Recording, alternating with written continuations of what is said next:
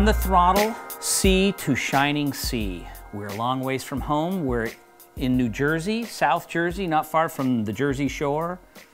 And we find Mark Rozema. Markbilt, this is your race shop. You're here just next to New Jersey Motorsports Park, stone's throw away across the airport there. And uh, we're gonna get a shop tour of the full service Markbilt shop. Thank Cool. you, Mark, for having us. Thanks for coming. Hope you got a nickel. I got a dime. so uh, we're standing in, I guess, the engine room. Yes, this is our engine building room, and we also have our suspension service here set up as well. This is kind of our clean room. So we keep all that kind of stuff just specific to this room.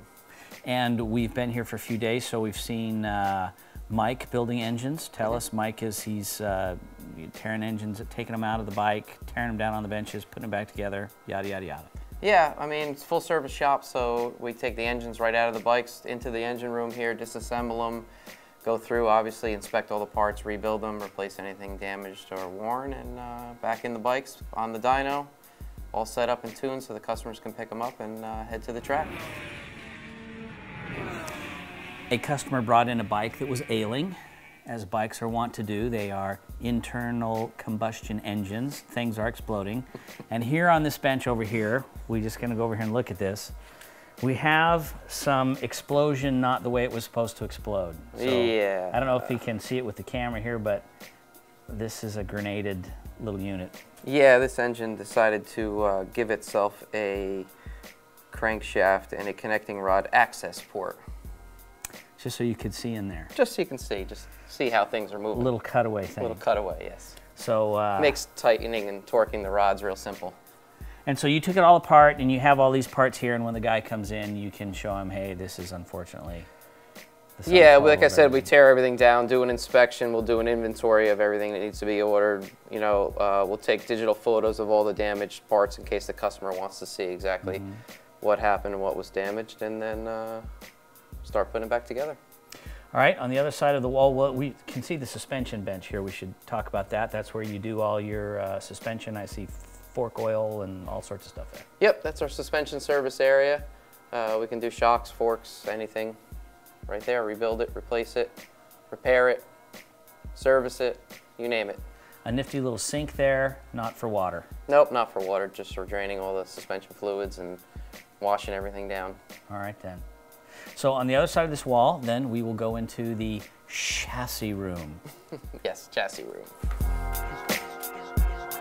All right, cameraman is focused. We're now in the chassis room. You have a couple of workbenches, bays here. You got plenty of room to do quite a few bikes. Yeah, Dave, we're just set up in here basically three work bays, uh, and then we have room to store and work on a few additional bikes. Um, we have uh, storage room off to the side for some small parts storage, and then also in this room we have our tire machine and balancer and stuff to do uh, tire service as well.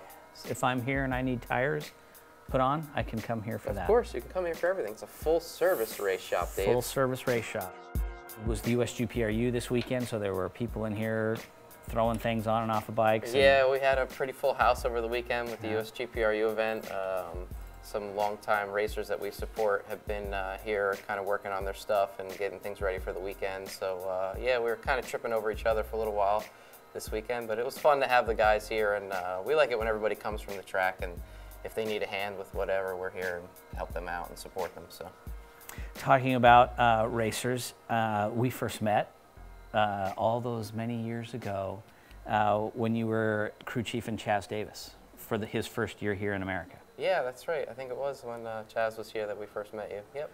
And then uh, last year it was Melissa Paris. Melissa Paris. Mm-hmm. And then this year it's Eric Stump, and he just got his first podium at the recent AMA around there at New Jersey. Yep, Eric Stump was able to put uh, our Markbilt Yamaha on the podium. He finished third here at the AMA event, injured. We, we were Yeah. hoping to win the race if he wasn't injured, but he rode, uh, rode his heart out. I know he was in a lot of pain, and we're really proud of what he was able to accomplish.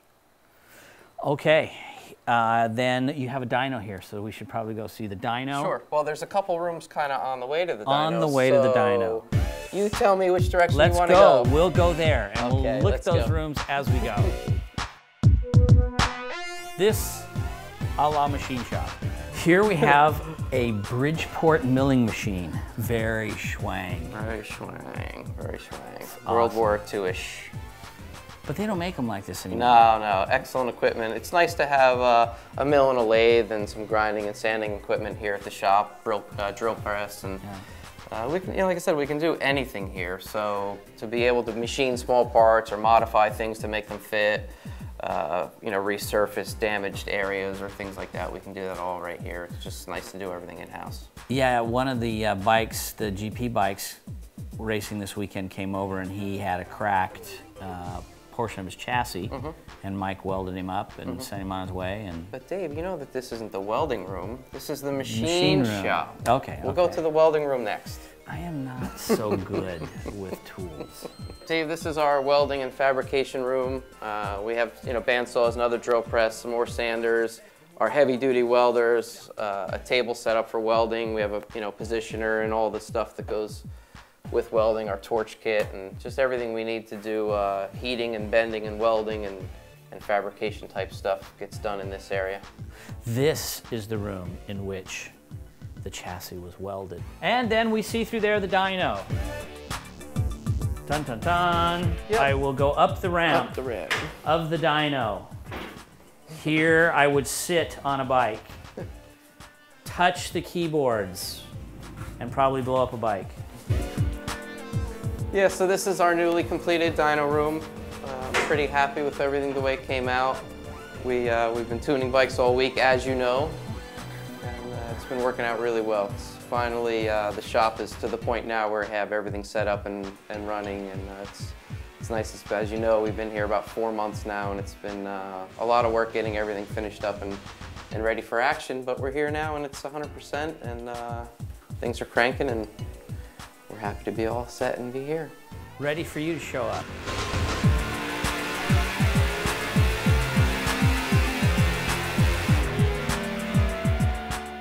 So here we are in the vast warehouse area, which is heated.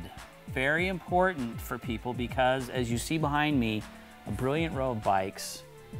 If I was from this part of the country Yes, and I Dave. frequented New Jersey Motorsports Park, I could bring my bike and simply leave it here. That's correct. As you know, we are not in California, so things do freeze here in the Northeast.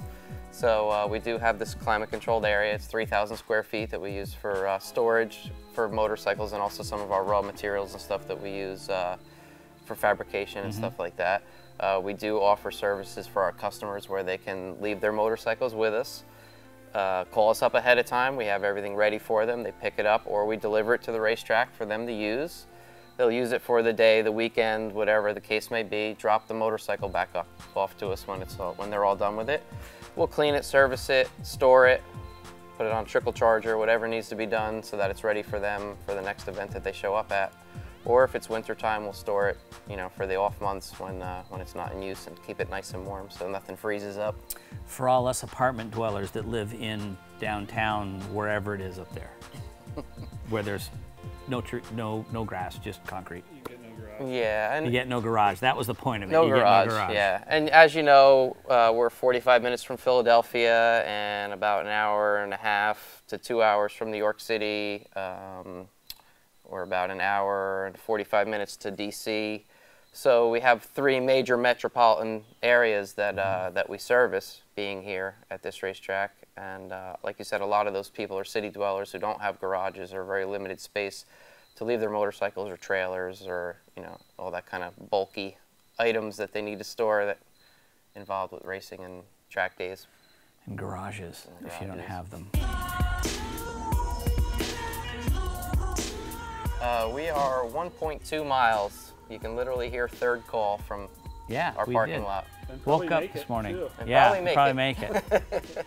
There's uh, this is part of the, an industrial park attached to the little airport, and the track is then contiguous to the to the airport Yep, on the yeah, other the side of track runway. and the uh, airport make up one tract of land, and then we are part of the airport industrial complex. Right. Yep. So there it is. Yeah, we woke up this morning to first call to something, and bikes whizzing around in the rain. So.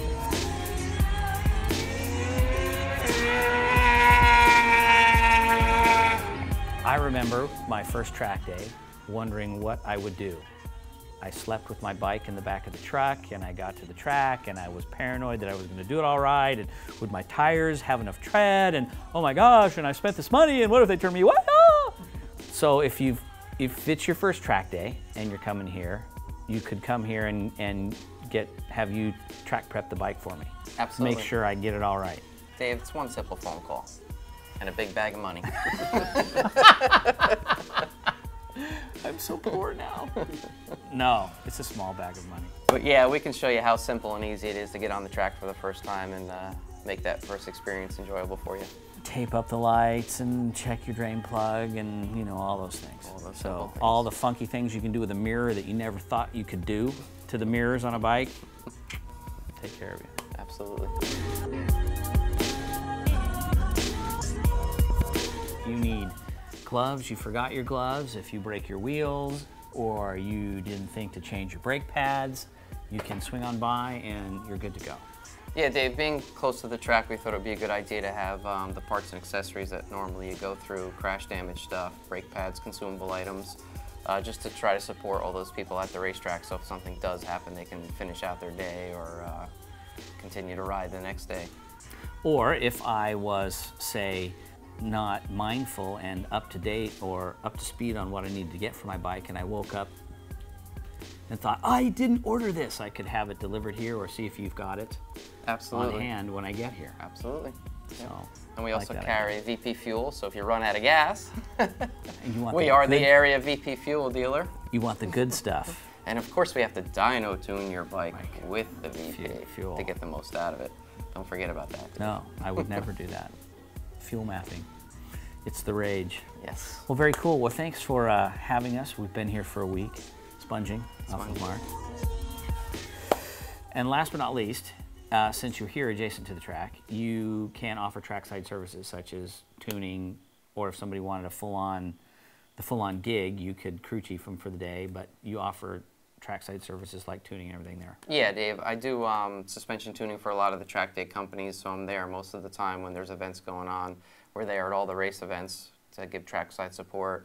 We do have services for customers if they want to hire us in for the day to set up their bikes or work with them on even, even rider coaching and stuff like that. We have all that stuff available for our customers. Sort of a one-stop shop. One stop shop.